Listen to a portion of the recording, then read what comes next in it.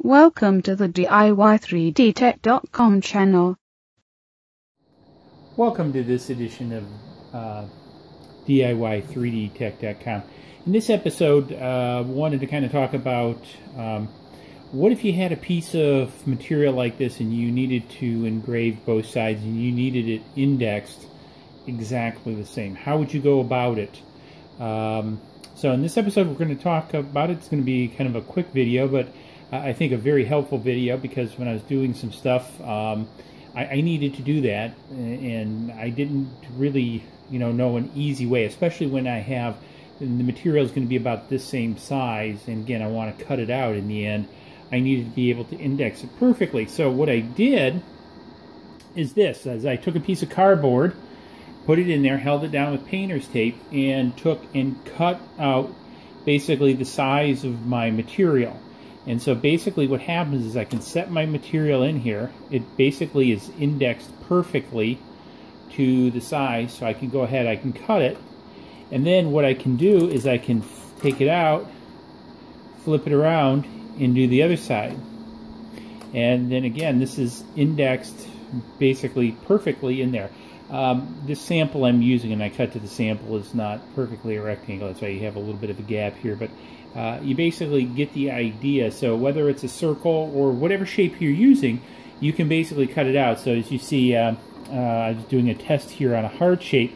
I could have even cut cut out the heart shape and indexed it so I could flip the heart over. So long as, so long as whatever object you're using is symmetrical, you can flip it on, on each side. So again, I thought this was really a neat little tip and trick um, to help make workflows easier on the laser uh, because a lot of what you know you're doing, like if you're doing maybe some keychains or something, you want something on uh, each side, especially if it's colored.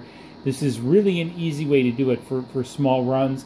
And again, if you have a bigger run, um, again, you can put a bigger piece of cardboard in here and, you know, say you have one inch by one inch, you could just simply cut a bunch of one inch by one inches out then that way you can gang them up and, and, do a bunch of them at once. So just because I'm just doing one at a time here doesn't mean if you have something that fits on your bed, you can't do more than one at a time and, and set up your workflow like that. So anyways, um, hopefully this video helped improve your workflow. If it did, hey, please give it a thumbs up, give it a like down below. It really helps us out make more of these videos.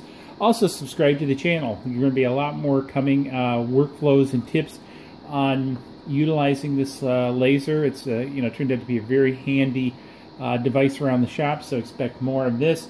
Um, over here on the other side, which you can't see, or maybe you can see a little bit of the corner right there, we've got the uh, 2 watt laser project. Uh, again, I'm waiting for a new diode to come, so we're going to be doing some more stuff with that. Um, I think it's going to be really neat. I want to show uh, doing shirts and things like that with that unit. So a lot of stuff coming on lasers. The CNC's over there. Uh, we're going to revive that uh, series here in a little bit, um, doing some stuff in combination with the uh, laser cutter with the CNC, and we'll also be doing a comparison. Uh, we also got a new 3D uh, printer coming on its way, so to go with the DaVinci over there. Um, so we sold uh, the the TwoUp on eBay. Just closed that out today. So again, a lot more stuff coming on this channel. Subscribe, give it a thumbs up down below, and we'll see you in the next video. Cheers.